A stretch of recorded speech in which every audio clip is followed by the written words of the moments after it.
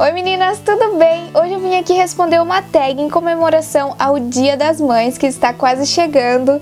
E esse é o meu primeiro Dia das Gente, Mães. eu não tenho palavras para explicar esse sentimento.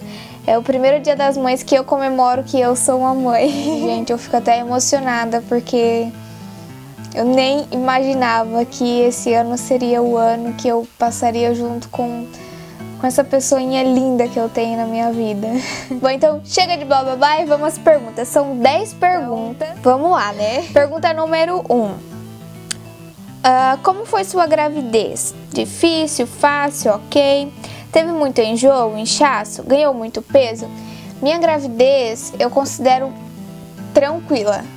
Desde o começo eu nunca tive nenhuma complicação séria, eu nunca tive risco de perder meu bebê, eu nunca tive nenhum desses probleminhas que possa ter, é, possa gerar na gravidez. Então eu considero uma gravidez tranquila. E para mim foi difícil. Foi, hoje eu vejo como uma gravidez tranquila, mas quando eu tava vivendo, uh, ah, para mim foi difícil porque eu não sabia o que estava acontecendo. Eu não sabia o que, que era da gravidez, o que, que não era, o que, que podia acontecer comigo. Uh, se eu tive muito enjoo, inchaço, se eu ganhei muito peso, eu ganhei muito peso. Eu ganhei 16 quilos, eu sei que tá ali na média, mas eu esperava ganhar uns 9 e eu enchei muito, gente, muito, muito, muito mesmo. Meu rosto ficou redondo. Blusinha minha ficava tipo cropped, sabe? então eu enchei muito, não foi só a barriga que cresceu, só que a minha barriga, ela cresceu pra frente, né? Dizem que a barriga de menino ela cresce pra frente e a barriga de menina ela cresce meio que pros lados. Então, como a minha barriga era muito pontuda, todo mundo olhava e falava: "Nossa, como sua barriga tá pontuda e não sei o que, é menino, né?" Então, quem foi mãe sabia que eu estava grávida de menino. Então, como ela cresceu pra frente aqui, aquela barriguinha redonda mesmo pra frente, as pessoas falavam: "Nossa, você não engordou nada, né?" Mas quem me conhecia antes sabe que eu engordei bastante. E no começo, eu tive muito enjoo.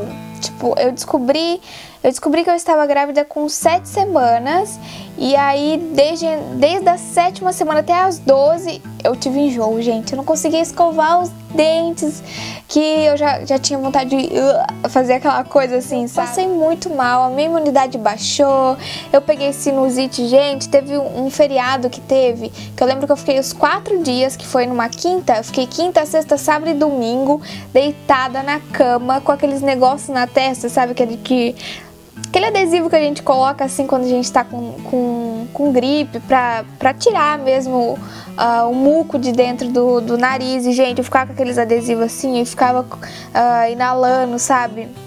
Soro, inalando Vic e eu nem podia inalar Vic. Gente, grávida não pode inalar Vic. Eu não sabia o que podia, o que não podia pra, pra gravidez. Os piores quatro dias da minha vida, gente. Sério, eu fiquei muito, muito mal. Muito Das 12 até as as 25, 30 semanas ali foi maravilha, gente. Aí depois, vocês sabem como é que é. Pergunta número 2. Você teve muitos desejos durante a gravidez? Qual foi a comida mais exótica, estranha, que você teve que você teve desejo de comer? Acho que o que, que eu mais tive vontade de comer, gente, foi bala de, de melão aquela bala de melão da Frigels. Tinha até um pacote aqui em casa, porque, gente, eu procurei tanto essa bala, tanto. Eu não sei se quando. Eu não sei se eu tava grávida já, mas eu lembro que eu trabalhava e foi um senhorzinho lá e me deu uma bala. Ele sempre levava bala, ele me deu essa bala de melão. Gente, essa bala era tão gostosa tão gostosa. Eu tava trabalhando assim e eu senti o cheiro daquela bala e eu precisava comer aquela bala, gente. Eu precisava. Até que a minha irmã mandou bala, minha amiga me mandou bala, minha mãe achou todo quanto é tipo de bala de melão e não era aquela bala da Frigelos. Então acho que o que mais exótico foi essa bala. E quando chegou as balas para mim que a minha irmã mandou, gente, eu chupava três, quatro balas na boca, eu colocava três, quatro balas na boca e cheirava uma assim, gente. Eu ficava cheirando, parecia, sabe, drogado. parecia um vício aquelas balas. Gente, chupei tanta bala, tanta bala naquela semana. E aí depois foi meio que estabilizando a minha vontade ali da bala, mas foram ali uma semana cheia de bala. Eu chupei muita bala, muita mesmo. Acho que isso foi o que eu que eu tive de desejo assim mais exótico. Eu não tive vontade de comer alguma coisa com outra coisa, tipo comer salgadinho com macarrão, comer macarrão com, com, sorvete, sei lá, essas coisas estranhas assim, eu não tive não. Só foi o desejo mesmo da bala. 3. Quem escolheu o nome do bebê? Decisão sua, mutual com seu marido, namorado. E por que você escolheu esse? Na verdade, a gente tinha o nome de menina. Menina tava certo, era Agatha, o nome de... Quando a gente descobriu o sexo, descobriu que era menino, a gente até meio que ficou assim, porque é pra vida toda. É o nome que você vai dar pro seu filho, que vai viver o resto da vida com aquele nome, então é muito complexo. Ele não ia poder, é, tipo, receber apelidos com o nome que a gente ia dar, ele não ia, tipo, a gente tinha que dar um nome para ele, para quando ele chegasse nos seus 13, 14 anos, não chegar pra gente e falar assim: por que, que vocês me deram esse? Eu sempre quis um nome simples, tipo João, Felipe, Pedro esses nomes assim mais simples. Até que eu queria colocar George, é, é George, só que se escreve George. Eu tenho certeza que aqui no Brasil uh, todo mundo ia chamar ele de George, então não. Eu queria um nome brasileiro mesmo, nome assim pequenininho. Uh, eu sempre tive Miguel na cabeça, desde adolescente mesmo. Daquela novela Rebelde, e eu achava lindo o nome Miguel, lindo. O primeiro nome que a gente escolheu foi Miguel. E passou uma semana e a gente não sabia que nome que ia dar, que nome que ia dar. Eu falei, ah, vai ficar Miguel mesmo. Então, todo mundo gostou de Miguel. Quando a gente decidiu colocar Miguel, apareceu tantos Miguel, tantos, tantos, gente, no Facebook. A maioria dos filhos das, das meninas que eu tenho no Facebook é Miguel. Então, apareceu muitos Miguel. Foi uma escolha uh, muito pensada e foi uma escolha de nós dois. 4. Qual foi a experiência mais difícil e mais gratificante que você teve como mãe até a hoje? A única experiência que eu tive mais difícil foi o dia que ele nasceu. Não tem como eu citar outra coisa, porque uh, o Miguel tem apenas quatro meses, eu sei que tem muita coisa ainda por vir, então acho que a experiência mais difícil de todas que eu tenho nesses quatro meses foi dia 16 de dezembro de 2015, que foi o nascimento dele. Então, quem me acompanha sabe que eu tive cesárea e eu tava com muito medo e foi o momento que eu mais me apeguei com Deus assim. E foi o dia mais incrível da minha vida. Foi. Eu nem gosto de falar que eu choro. Eu tenho certeza que foi o dia mais gratificante de toda a minha vida. Miguel nasceu de 37 semanas, então eu não estava preparada psicologicamente ainda para acontecer tudo o que aconteceu naquela hora. Eu sabia que eu, a qualquer momento ele podia vir, mas eu estava preparada ainda para as 40 semanas. Eu achava que ele ia ficar na minha barriga mais três semanas então foi uma experiência muito difícil, mas no final foi super gratificante. Uh, a recuperação também, eu podia estar ali sentindo dor, mas eu estava dando banho nele, eu estava trocando ele porque eu não queria deixar ninguém fazer nada por ele. Eu queria participar de cada momento dele. Eu nunca passei por cirurgia, nunca passei por nada assim. Nunca quebrei um dedo, nunca quebrei um braço, nunca usei gesso e essa foi a experiência mais difícil, sem dúvida nenhuma, mas a mais gratificante. 5. Se você pudesse escolher uma única coisa que não precisaria fazer como mãe, o que seria? Trocar fralda, acordar no meio da noite, cozinhar? Ah, não sei, porque eu, eu, desde quando ele nasceu, eu, eu quis muito participar de tudo, de tudo na vida dele, de tudo. Mas eu acho que, que não, não seria acordar à noite, porque eu acordo, se for preciso, eu fico a noite em claro com ele. Uh, trocar fralda, eu amo trocar fralda. Eu tô super ansiosa pra, pra chegar o dia que eu vou poder cozinhar pra ele mesmo, fazer a comidinha dele. A única coisa que eu não queria mesmo é o dia uh, dele levar vacina, que é o momento que eu vou levar ele pra ele ser furado. Porque é isso que passa na minha cabeça. Não, não, passa na minha cabeça, ele vai levar uma injeção, só que essa injeção é pro bem dele. A única coisa que passa na minha cabeça, eu vou levar ele para ele chorar. Eu vou levar ele para ele ser frado e para ele chorar. Então, acho que eu queria muito não precisar passar por isso. 6. Defina o que é ser mãe em três palavras. Eu, eu poderia ficar, uh, acho que o dia inteiro aqui falando para vocês como é bom ser mãe. Mas em três palavras eu vou definir: não tem como amor incondicional. Eu nunca senti um amor tão grande assim por alguém, nunca. Gratidão. Eu sou muito, muito grata a Deus por Ele ter me dado um anjo na minha vida, por Ele ter me dado um filho. Sou muito grata. Todas as noites eu agradeço muito por Ele ter me dado um filho perfeito. Eu, acho que eu vou dizer que é se doar. A gente se doa por completo, a gente se, se sacrifica por um filho. Então, eu acho que é isso, gente, a, a definição de ser mãe.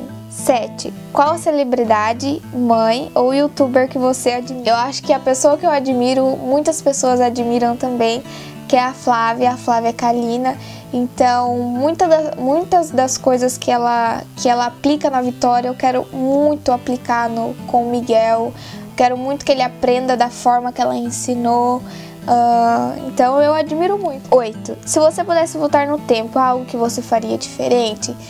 Eu acho que eu voltaria no tempo na gravidez. Gente, eu morria de vergonha de mostrar minha barriga. Não sei, eu não conseguia mostrar minha barriga. Parece que é uma coisa tão íntima, sabe? e eu não conseguia mostrar, mas eu acho que eu, eu se eu voltar, se eu, se eu pudesse voltar no tempo, eu aproveitaria muito mais isso, sabe? Não teria tanta vergonha, uh, não teria tanto aquela paranoia de ai, será que ele tá bem? Será que eu tô fazendo mal para ele? Será que isso? Será que aquilo? Tiraria muito mais fotos do que eu tirei. Uh, e também não teria tanta aquela ansiedade, sabe? Aquela coisa assim. Ai meu Deus, como que vai ser amanhã? Como é que vai ser daqui uma semana? Como é que vai ser daqui um mês? 9. Qual a maior lição de vida que você aprendeu em ser mãe? A maior lição de vida que eu aprendi desde quando eu engravidei, que é não julgar, sabe? Uh, antes a gente falava assim, nossa, mas ela é tão nova, né? Por que, que ela não se cuidou para não engravidar? Tipo, a gente tem esses pré-julgamentos que, que eu não sei se é um julgamento mal ou se é um julgamento natural. Porque a gente sempre pensa assim, ah, mas ela 14 anos, por que, que ela não tomou remédio? Por que, que ela, ela não se preveniu? Então, sabe aquela coisa de pagar com a língua? Uh, descobri que eu tava grávida quando eu tava com 7 semanas e eu tomava remédio, a gente se preveniu.